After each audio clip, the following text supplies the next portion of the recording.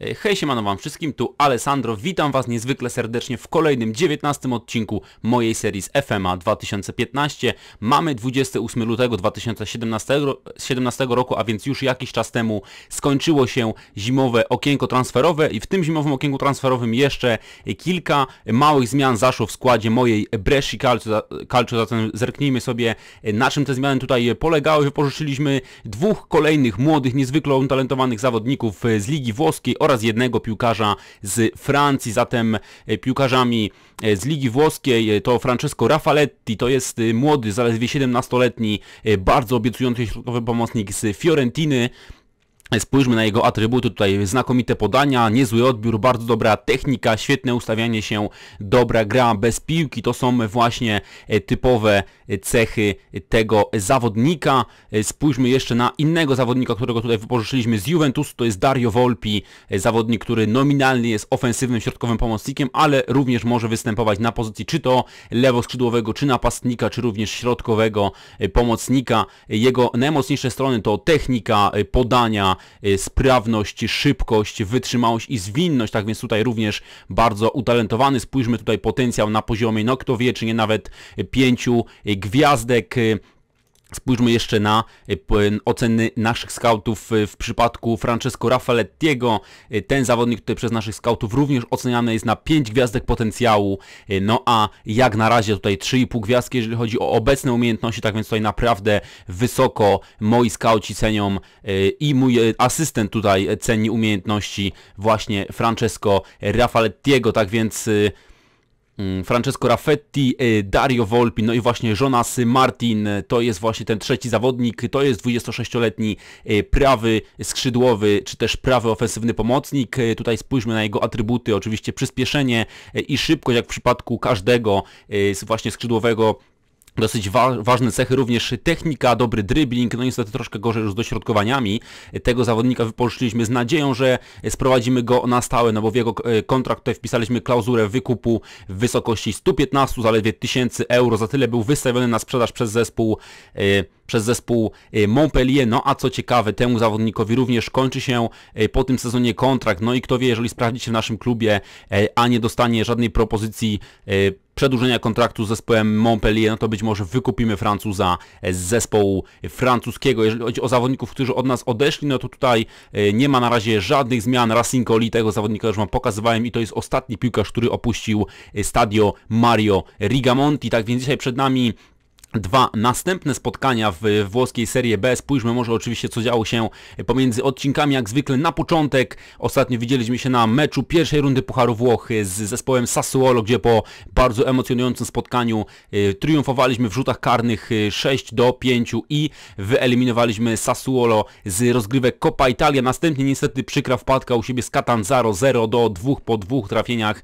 Diego Falcinelliego. Następnie Regina i remis na Oreste Granilo 1 do 1.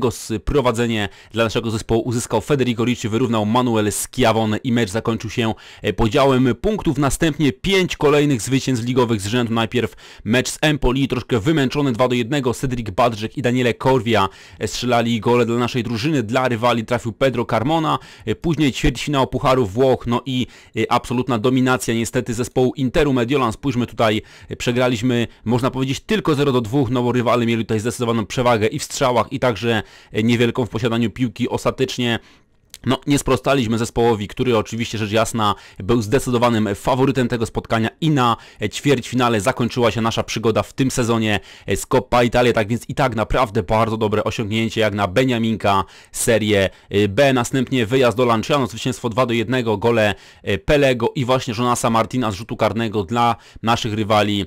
Z Procati strzelił gola w doliczonym czasie gry, no i wygraliśmy 2 do 1, później mecz z Carpi i zwycięstwo 2 do 0, Daniele Korwia i bezpośrednio bezpośrednio z rzutu wolnego Dawid Iwan, autorami goli w tym spotkaniu. Później mecz z AS Bari na Stadio San Nicola I kolejne zwycięstwo z tym zespołem, no bo przypominam, że oczywiście w rundzie jesiennej również Bari pokonaliśmy dosyć pewnie 3 do 0, jak tutaj widzicie. No i również w tym spotkaniu z Bari wyjazdowym również uzyskaliśmy 3 punkty trafienia Pariginiego, Bochniewicza i Daniele Korwi. Dla rywali trafiali Jerim Baoku i Federico Moretti. No i później takie troszkę wymęczone 1 do 0 z, ze Specją, zespołem, którym przecież ponieśliśmy porażkę 0 do 2 na E, jesień.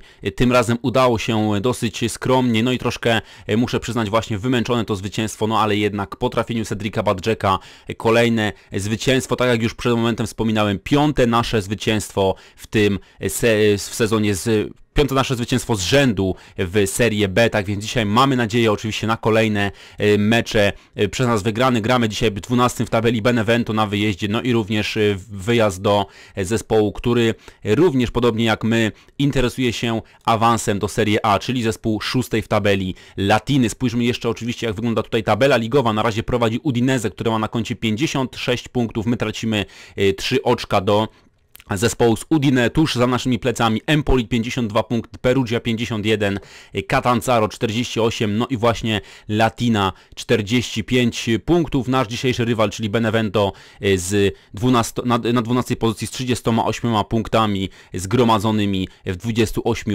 e, kolejkach, a w strefie spadkowej zespoły Reginy, Bolonii i ostatniego w tabeli e, Trapani. Tak wygląda, moi drodzy, tabela ligowa. Teraz przejdźmy już oczywiście na początek do spotkania z zespołem z zespołem Benevento. Spójrzmy, w dzisiejszym spotkaniu nie będzie mógł zagrać Andrea Koda, który jest niestety kontuzjowany. W jego miejsce oczywiście wskoczy do składu Paweł Bochniewicz, Zambelli, który jest zagrożony wykluczenie w następnym spotkaniu z powodu nadmiaru żółtych kartek w przypadku otrzymania żółtego kartonika w tym spotkaniu.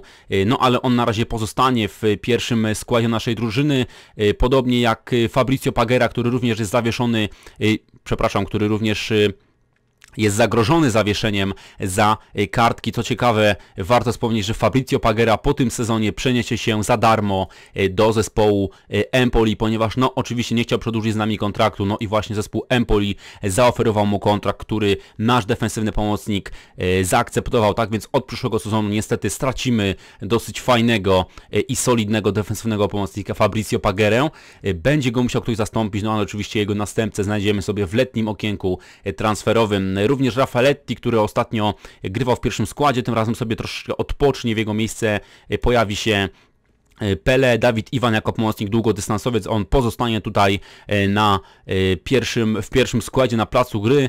Jonas Martin usiądzie na ławce rezerwowych, on ostatnio w meczu ze Specją wybiegł w pierwszym składzie, tym razem w jego miejsce Vittorio Parigini, z lewej strony oczywiście Federico Ricci, a w ataku Daniele Korwia, tutaj żadnych roszad póki co nie będzie. Powrócił do zdrowia, jak widzicie, Gianrolamo De Angelis, tutaj udostępniłem go zespołowi do lat 20, aby jak tutaj najszybciej ten zawodnik się ograł i mógł wrócić do e, pełni e, sprawności i do, e, kto wie czy nie do pierwszego składu również mojego zespołu, tak więc tutaj jeszcze Andrea Koda, który jest kontuzjowany, wyleci z ławki rezerwowych, a w jego miejsce Lazaros Fotias jako jeden z rezerwowych, zatem takim składem, moi drodzy, sobie rozpoczniemy to spotkanie, rzecz jasna tutaj nic nie zmieniamy, jeżeli chodzi o mentalność, także styl gry, no i również nasze przygotowania przedmeczowe, y, w których skupiliśmy się właśnie na grze w ataku. Zatem przechodzimy sobie do tego pierwszego spotkania wyjazdowego. Tak jak już wspominałem, pięć ostatnich zwycięstw z rzędu, y, które tutaj wywindowało nas na drugą pozycję w tabeli. No kto by się spodziewał przed tym sezonem, moi drodzy, że Brescia Calcio będzie tutaj walczyła o awans o Serie A. Przecież dopiero co awansowaliśmy z trzeciej włoskiej ligi, no a już tutaj naprawdę siejemy sporo zamieszania w rozgrywkach zaplecza włoskiej ekstraklasy, tak więc tutaj jeszcze instrukcje dotyczące rywali, o które prosimy rzecz jasna jak zwykle naszego asystenta Umberto Marino, tutaj jeszcze oczywiście małe roszady w mojej, z, z mojej strony jak zwykle dotyczące bocznych obrońców, no i cóż moi drodzy, chyba możemy zaczynać, zatem jeszcze rozmowa motywacyjna, E, trzeba zachęcić chłopaków, aby pociągnęli to dalej, niech tak, zatem e, nasz asystent e, tutaj zmotywuje naszych zawodników, my jeszcze również dodamy od siebie, że wierzymy w nich umiejętności, no i możemy już zatem zaczynać to pierwsze nasze spotkanie w, w właśnie z zespołem, zespołem Katancara. Już Empoli przegrywa z Crotone 0 do 1, a my tutaj na razie po 20 minutach nic ciekawego nie e, wywalczyliśmy pod bramką rywali. Zatem e, powiedzmy naszym zawodnikom, e, aby pokazali tutaj więcej zaangażowania. Być może to da jakiś tutaj pozytywny skutek. No niestety już jakiś uraz Pelego. Miejmy nadzieję, że to nie będzie jakieś, jakaś groźna kontuzja gracza sprowadzonego z Milanu na zasadzie wypożyczenia. Przepraszam oczywiście nie Catanzaro, a Benevento jest naszym dzisiejszym rywalem, zatem przepraszam za tą pomyłkę z początku tego spotkania. No cóż, na razie mamy 35 minutę i na razie nic tutaj ciekawego nie dzieje się w y, Benevento. Uwaga, może teraz jest Federico Ricci, jeszcze Claude Adiapong, jest Pele, Pele, Palgini, ależ teraz była okazja, no ale Gabrieli, niestety bramkarz zespołu Benevento, dobrze to uderzenie z zawodnika z Portugalii wybroni. Uwaga, teraz jeszcze jedna szansa, jeszcze tutaj było e, groźnie, jeszcze Korwia, jeszcze Pagera do Federico Ricciego, no ale niestety Federico Ricci pozostał na pozycji spalonej, no i nic z tej sytuacji już e, nie będzie. Zatem pierwsza połowa bez większych fajerwerków 0 do 0 do przerwy remisujemy z zespołem Benevento. No i mam nadzieję, że, tutaj, w drugiej połowie coś ciekawszego pokażemy. No tutaj musimy zmienić kontuzjowanego Pele, w jego miejsce pojawi się Rafaletti, no i tutaj zamieni się pozycjami z Dawidem Iwanem. Być może to da jakiś pozytywny skutek w drugiej połowie. Oczywiście nie jestem zadowolony, jestem głęboko rozczarowany tym, co pokazaliście. E, jestem niezadowolony z waszej gry w defensywie, niezadowolony waszym, waszymi próbami rozgrywania piłki i również nie podoba mi się wasza nieskuteczność. Większość zawodników podbudowanych, tylko dwóch, Dawid Iwan i Marco Zambelli, negatywnie zareagował na tę rozmowę motywacyjną. Tak więc zobaczmy, jak tutaj w drugiej połowie spiszemy się w e, pojedynku z 12 zespołem Serie B. 53 minuta, wciąż tutaj zero praktycznie ciekawych sytuacji w tym meczu. E, Frozinione prowadzi z Avelino 2 do 0. No i cóż, e, kto, kogo ewentualnie możemy sobie, sobie jeszcze wprowadzić? No niestety bardzo słabo dzisiaj gra Daniele Korwia, zatem w jego miejsce e, niech pojawi się na murawie Cedric Badjack. No i zobaczmy jaki to przyniesie skutek czy może będziemy mieli jakąś ciekawą sytuację, ale uwaga, bo jest Fabrizio Pagera, jest Federico Ricci. Federico Ricci teraz faulowany przez Tomasa Soma. No i tutaj gra niestety nam tej akcji nie kontynuowała. Cedric Badżek w miejsce e, Daniele Korwi. Daniele Korwia, który również w poprzednim spotkaniu zaliczył słabe spotkanie, zmieniony właśnie przez Cedrica Badżeka, e, który ostatecznie strzelił gola, który dał nam zwycięstwo w spotkaniu ze Specją 1 do 0. Teraz jest Som. Jest Leverone. Ale świetnie Adiapong, fantastycznie tam spisał się w defensywie, gracz wypożyczony z zespołu Sassuolo, a i teraz źle zagrywa Federico Ricci, no i Claude Adiapong jeszcze fauluje rywala. Najprawdopodobniej to wszystko skończy się żółtą kartką dla naszego lewego obrońcy e, i będzie rzuty wolny dla zespołu Benevento. No fajnie byłoby tutaj szybko przyjąć piłkę, jakiś ewentualnie kontratak zawiązać e, pod bramką e, rywali. Zobaczmy, Donielli, dośrodkowanie w pole karne, e, no ale niestety źle wybijamy tutaj piłkę, no i co? Ależ fantastycznie teraz Kaliard obronił uderzenie rywala, no i mogliśmy teraz przegrywać 0 do 1. Uwaga, kolejna niebezpieczna sytuacja, tym razem dobrze tam popracował w defensywie Federico Ricci, no i jeszcze fantastyczny wślizg Pariginiego zażegnał teraz niebezpieczeństwo.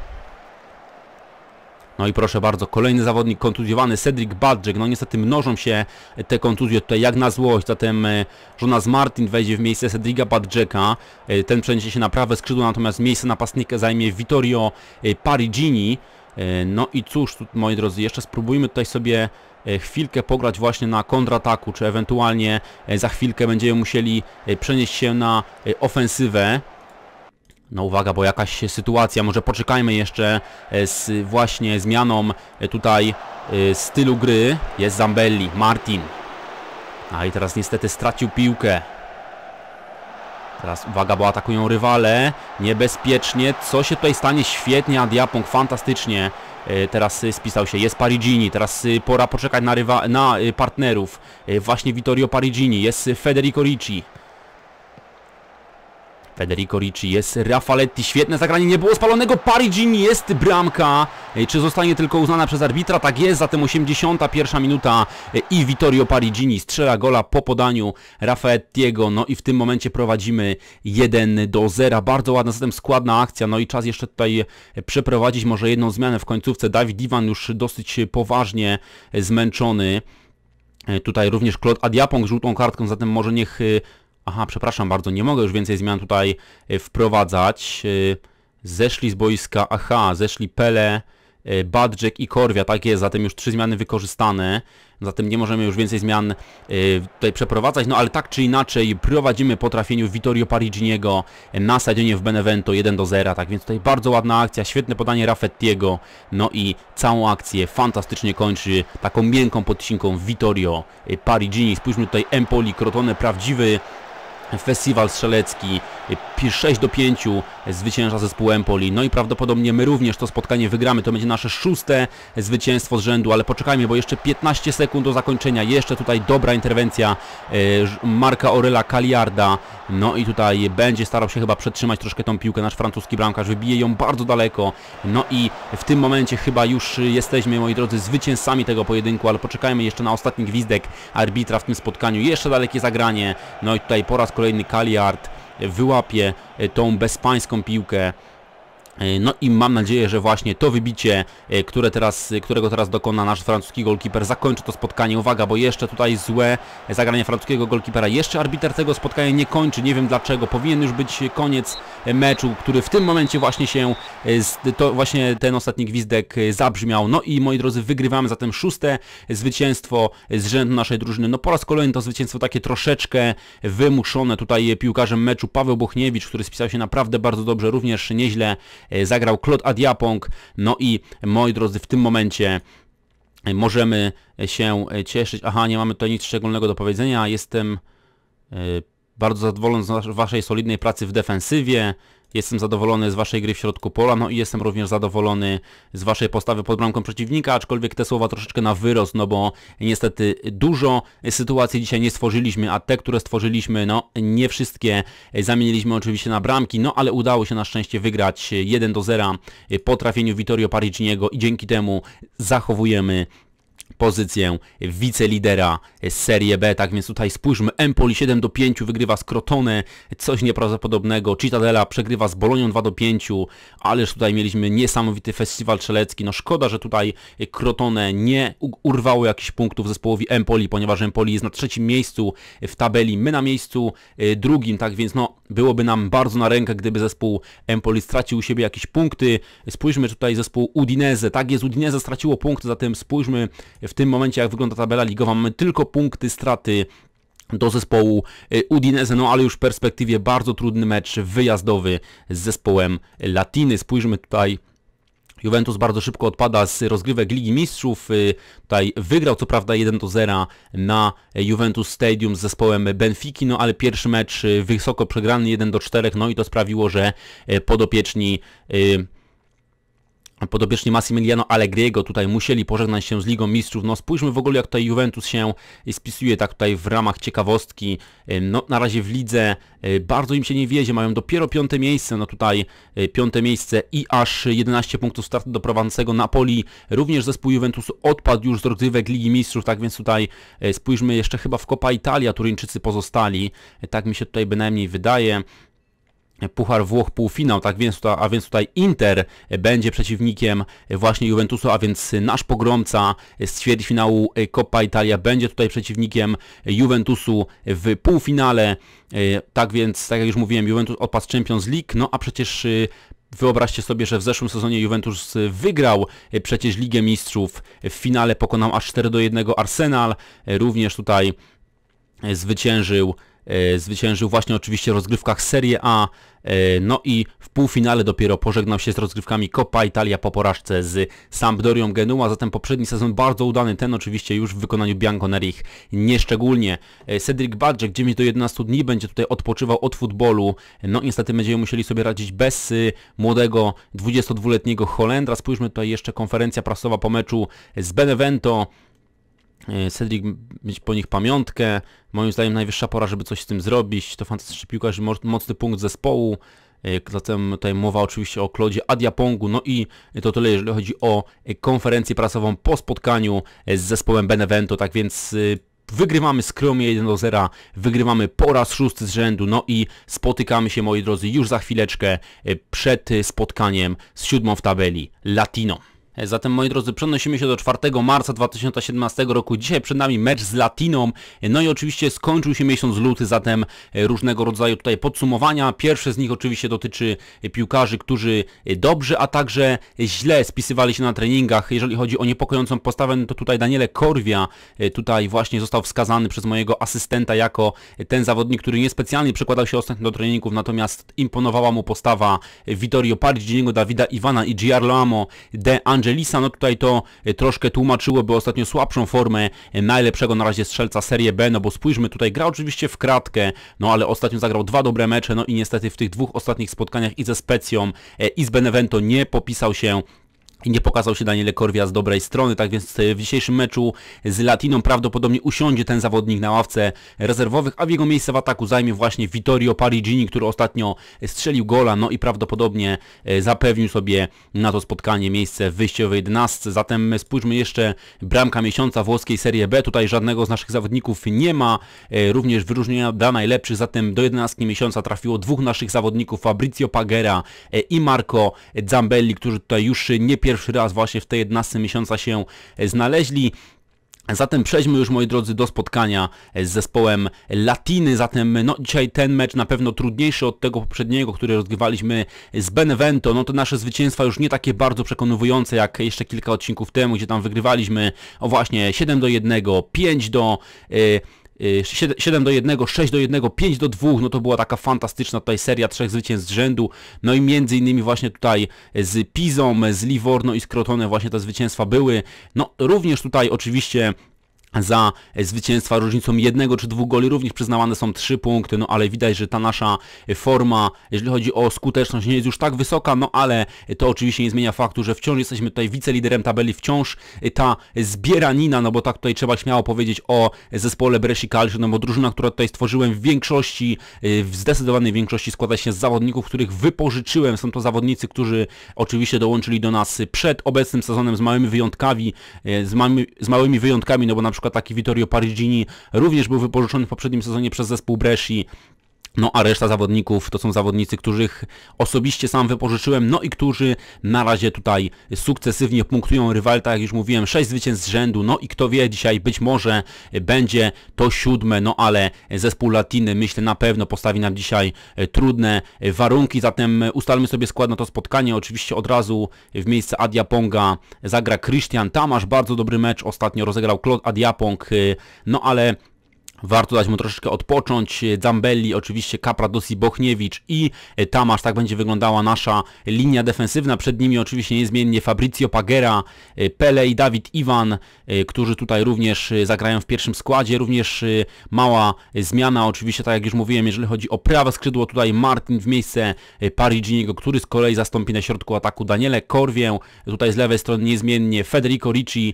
No i może dajmy sobie tutaj właśnie Rafalettiego w miejsce Pelego. Teraz wpadło mi do głowy, że przecież Rafaletti, e, przepraszam, nie Rafaletti, a Raffetti. Tutaj troszkę źle wymawiam e, nazwisko tego piłkarza. Francesco Raffetti e, asystował właśnie ostatnio przy trafieniu Vittorio Pariginiego, tak więc tutaj warto dać mu szansę od pierwszej minuty. No i tutaj w miejsce kontuzjowanego Cedrika Badżeka na ławkę rezerwowych powędruje młody, wypożyczony z AS Romy, bardzo utalentowany Giarlo De Angelis. Zatem to tyle, jeżeli chodzi o ustalanie składu. Takim składem oczywiście zagramy Zagramy sobie dzisiaj w spotkaniu z Latiną. Oczywiście zgłaszamy taki zespół.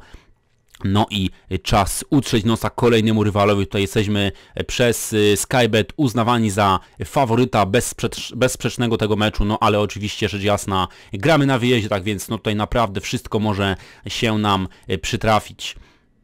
Mark Arleko od dłuższego czasu nie daje się strzelić gole, jak długo może to jeszcze potrwać. Y, nie zamierzam przynieść mu pecha rozmową. E, Castellani nie zagra w tym meczu, o ile zwiększa to wasz szans na zwycięstwo. E, wcale nie jest powiedziane, że pod jego nieobecność musimy z nimi wygrać. Dobra, zatem e, tutaj spójrzmy, czy jakieś znane nazwiska w zespole Latiny się pojawiły. No tutaj Della Fiore to jest zawodnik również oczywiście z przeszłością Serie A, innymi Palermo, Torino, tak więc tutaj również Alessandro Rossi to jest, przepraszam, Andrea Rossi, a więc to nie jest ten zawodnik z Genoi, tak jak myślałem. No i cóż, tutaj raczej mało znane nazwiska, mało mówiące e, przeciętnemu kibicowi Serie A czy Serie B. E, tu również Michele Palucci, który był zawodnikiem Juventusu, z tego co pamiętam, on jest nawet wychowankiem klubu Starej Damy, tak więc również mi osobiście znany zawodnik. No i cóż, zatem przejdźmy do instrukcji dotyczących rywali. Poprośmy rzecz jasna tradycyjnie o nie e, naszego e, asystenta, który ostatnio e, te instrukcje dotyczące rywali e, dobiera bardzo dobrze, no co widać oczywiście po naszych e, dobrych wynikach w ostatnim czasie. E, zatem tutaj oczywiście rzecz jasna, jak, jak zwykle moja mała roszada dotycząca właśnie e, bocznych obrońców. No i cóż, e, tutaj możemy również zgodzić się na to, aby nasz asystent przeprowadził za nas rozmowę motywacyjną, e, którą ewentualnie możemy tutaj jak zwykle troszkę zmodyfikować. Troszkę zgaszony tutaj był Vittorio Parigini, no szkoda, że tutaj pozytywnie nie zareagował na tę rozmowę motywacyjną. No i przechodzimy, moi drodzy, zatem do tego spotkania z zespołem siódmej w tabeli Latiny. Już pierwsza akcja Federico Ricci no i czy coś z tego będzie? No to byłoby coś niesamowitego, gdyby udało się strzelić gole już na początku, no ale nic z tego. Gra tej akcji nam specjalnie nie kontynuowała. Dawid Iwan chyba za chwilkę zobaczy żółtą kartkę, nie jednak tylko słowne upomnienie od arbitra. E, Zambelli na spalonym, mamy 15 minutę gry, na razie nic tutaj ciekawego się nie dzieje, zatem e, parcie do przodu, zażądaj więcej, o właśnie, może tak tutaj powiemy naszym zawodnikom. Jeszcze tutaj ewentualnie po takich słowach jakąś ciekawą sytuację tutaj stworzymy sobie pod y, bramką Latiny. 35 minuta, no tych akcji podobnie jak w poprzednim meczu bardzo, bardzo mało, w zasadzie żadnej tutaj ciekawej sytuacji, no i do przerwy, y, mimo tak jak już tutaj było napisane w komentarzu, lekkiej naszej przewagi 0 do 0, słaby mecz dosyć rozgrywa y, Paweł Bochniewicz, zatem ten bohater poprzedniego meczu z Benevento, również słabo Fabrizio Pagera, no i oczywiście Jestem głęboko rozczarowany tym, co pokazaliście, no i mam nadzieję, że w drugiej połowie e, pokażemy e, lepszą piłkę w naszym wykonaniu i e, no, być może będziemy w stanie nie tylko stworzyć sobie jakieś sytuacji, ale nawet pokonać bramkarza rywali.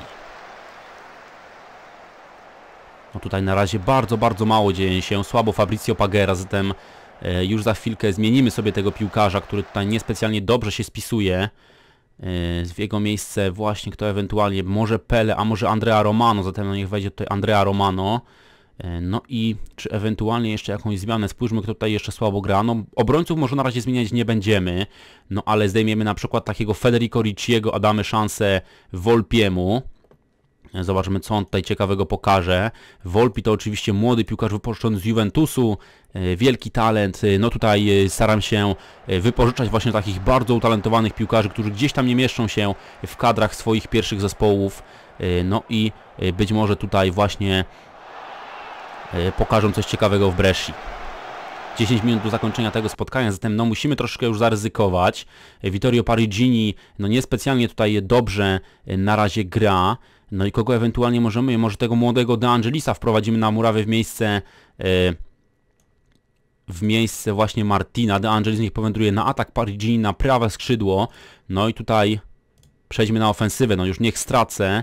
No walczymy tutaj o trzy punkty, zobaczymy czy to się opłaci, czy w tych ostatnich 10 minutach będziemy jeszcze w stanie coś tutaj zdziałać. Na razie sfrustrowani, jak widzicie moi zawodnicy. E, spójrzmy tutaj jeszcze, e, zachęćmy ich do tego, aby parli do przodu. No i zobaczmy, co tutaj przyniesie to wszystko w ostatnich 10 minutach tego spotkania. Y, mamy jeszcze 4 minuty, no i jakaś sytuacja. No niestety sytuacja dla rywali. Peterman, jest Waliani. Tutaj rozgrywają piłkę w środku pora piłkarze Latiny. No spójrzmy, piłka krąży pomiędzy zawodnikami. De La Fiore. No tutaj fajnie byłoby odebrać piłkę, no ale niestety tak się nie dzieje. Varano. No, teraz Bochniewicz fauluje rywalny, prawdopodobnie to będzie druga żółta e, kartka dla Pawła Bochniewicza, zatem musimy się już przestawić od razu na e, kontratak. No niestety czerwony kartonik obejrzał Polak, no i będziemy ten mecz kończyć w dziesiątkę, zatem tutaj Andrea Romano powędruje na środek obrony. On oczywiście nie jest nominalnym środkowym obrońcą, no ale troszkę z konieczności musi właśnie tak się stać. No i damy sobie tutaj także Raffettiego na pozycji defensywnego pomocnika i takim właśnie ustawieniem będziemy to spotkanie kończyć. No i będzie jeszcze z tego wszystkiego rzut wolny dla zespołu Latiny, no ale miejmy nadzieję, że nic ciekawego tutaj nam się z tego rzutu wolnego nie stanie. Paweł Bochniewicz niestety usunięty z boiska, no i ostatnie 3 minuty spotkania plus to, co doliczy arbiter, będziemy musieli grać w dziesiątkę. Uwaga, Gianodatto podchodzi do wykonania tego rzutu wolnego. Uwaga, uderzenie, no i piłka po rykoszecie wychodzi na rzut rożny, będzie korner dla zespołu gospodarzy. Uwaga, bo będzie teraz dośrodkowanie w nasze pole karne. No teraz dobrze by było daleko wyekspediować piłkę. No i ostatnie te dwie minuty jakoś tutaj przeżyć. Dobrze Capradosi, a i teraz jeszcze była okazja dla rywali, ale dobrze tam zablokowany zespół Latiny. Nie zdołał oddać celnego strzału. Uwaga, bo jest rzut rożny, ostatnie sekundy tego spotkania, jeszcze Andrea Romano, jeszcze Volpi, no i Capradosi, tutaj jeszcze e, przewraca się w polu karnym, no ale nic już w tym spotkaniu się nie wydarzyło, zatem no moi drodzy, taki troszkę mało ciekawy ten odcinek, mało sytuacji, tylko jeden strzelony gol, no i nie udało się zatem przedłużyć naszej pasy zwycięstw do siedmiu, zagraliście źle takie mecze, powinniście wygrywać, oczywiście to jest jasne, E, jeden z kluczowych zawodników naszego zespołu wróci do składu, kiedy będzie tylko to możliwe. Wolałbym o tym nie mówić. No tutaj oczywiście sprawa dotyczy tej czerwonej kartki. No spójrzmy, Latina nie oddała żadnego absolutnie celnego strzału na naszą bramkę. My oddaliśmy cztery strzały celne na bramkę Latiny, dziewięć strzałów w sumie. No i tutaj niestety nie udało się pokonać bramkarza rywali i mecz kończy się bezbramkowym remisem. Jedyny pozytywny aspekt dzisiejszego odcinka jest taki, że w dwóch meczach z rzędu nie straciliśmy gola, w sumie spójrzmy już w ilu spotkaniach w ogóle gola nie straciliśmy w trzech, no bo oczywiście w meczu z Bari dwa gole stracone, zatem Specja, Benevento i Latina, e, ci trzej rywale nie strzelili nam gola, tak więc tutaj e, myślę, że jeżeli chodzi o naszą defensywę, no to sytuacja wygląda naprawdę bardzo, bardzo dobrze. Jeszcze konferencja prasowa e, przed, przepraszam, po tym spotkaniu oczywiście, wiele zespołów wysiło białą flagę, ale moi zawodnicy wykuci z twardszego metalu udowodnili to. Gian Donato rozegrał dobre spotkanie, Bochniewicz oczywiście zawieszony będzie na kolejne spotkanie. No, mamy zatem, będziemy mieli problem w kolejnym spotkaniu z Trapani z zestawieniem linii defensywnej, no bo oczywiście Andrea Koda wciąż jest kontuzjowany, a właśnie Paweł Bochniewicz w najbliższym spotkaniu zagrać nie będzie mógł, tak więc tutaj będziemy musieli skorzystać prawdopodobnie z Greka Lazarosa Fotiasa, zatem no, nie jest tak źle, bo przecież na razie, e, co za chwilkę sobie zobaczycie, jesteśmy, o właśnie tutaj nawet to dobrze widać, jesteśmy na trzecim miejscu w tabeli ligowej Serie B, no i tracimy do lidera Udinese tylko jeden punkt, tak więc tutaj e, myślę, że jeszcze, jeszcze nie wszystko stracone, jeżeli chodzi o awans bezpośredni do rozgrywek Serie A, tak więc poczekajmy jeszcze tutaj chwilkę, aż to wszystko się nam tutaj wczyta. No i o właśnie, tutaj już możemy sobie e, na to wszystko popatrzeć. Spójrzmy tutaj, mamy punkt straty do, e, przepraszam, liderem jest Empoli, a nie Udinese. No ale Udinese ma tyle samo punktów, czy 58, e, my mamy punktów 57. No szkoda, bo gdybyśmy tutaj wygrali z zespołem Latiny, no to bylibyśmy nowym liderem Serie B. Nie po raz pierwszy zresztą już w tym sezonie. No a w kolejnym spotkaniu zmierzymy się z ostatnim w tabeli Trapani, to na własnym boisku, zatem tutaj no myślę, że z zestawieniem linii defensywnej nie będzie jakichś wielkich problemów, no bo tutaj prędzej będziemy musieli martwić się o atak, aby coś strzelić, aniżeli o to, aby tutaj y, właśnie E, stracić, e, bronić się przed stratą gola, tak więc no nawet już Andrea Koda, jak widzicie, wraca do pełni sprawności, zatem będzie mógł chyba zagrać w tym następnym spotkaniu e, z zespołem Trapani. Zatem spójrzmy sobie na kalendarz, co ewentualnie czeka nas w kolejnych odcinkach. Zatem teraz gramy oczywiście z Trapani, później mecze z Pescarą, Pizą, Livorno, Crotone, no i myślę, że tutaj spotkamy się na tych dwóch spotkaniach derbowym z Modeną i bardzo, bardzo ważnym dla nas meczu u siebie z Udinese. No, gdyby się ewentualnie udało wygrać to spotkanie, no to kto wie, być może będzie ono kluczowe w kontekście awansu do Serie A. Spójrzmy tutaj przed nami, no jeszcze naprawdę jest kilka kolejek, no bo dokładnie 11, tutaj 40, nie przepraszam, 12, 42 kolejki mamy tutaj do rozegrania w Serie B, natomiast jesteśmy już po 30 seriach spotkań, no i wciąż mamy tutaj wielką szansę na bezpośredni awans do najwyższej klasy rozgrywkowej we Włoszech. Jeżeli chodzi tutaj o tabelę strzelców, no to wciąż nasz Daniele Corvia, który w ostatnich meczach nieco obniżył swoją formę, jest na czele tej klasyfikacji wraz z Nicolo Gianettim z Empoli. No jeżeli chodzi o najlepszych asystentów, no to z tego co pamiętam tutaj, co za chwilkę zresztą zobaczycie, 9 asyst ma nasz najlepszy asystent, e, czyli Vittorio e, Parigini, 8 ma Dawid Iwan, zatem ci dwaj piłkarze no tutaj również często asystują przy golach partnerów, tak więc cóż moi drodzy, e, jeszcze raz oczywiście to o czym wspominałem, w najbliższych spotkaniach, w najbliższym odcinku zmierzymy się właśnie z Modeną i Udinese, natomiast za dzisiaj już bardzo serdecznie dziękuję, do zobaczenia i do usłyszenia w kolejnych odcinkach z FMA 2015. Był to odcinek, który prawdopodobnie pojawi pojawi się dokładnie 24 grudnia, zatem w Wigilię Bożego Narodzenia, no ale e, specjalne życzenia złożę Wam w osobnym vlogu, na który już teraz serdecznie Was zapraszam właśnie do jego obejrzenia, a na dziś to wszystko, trzymajcie się, na razie, cześć.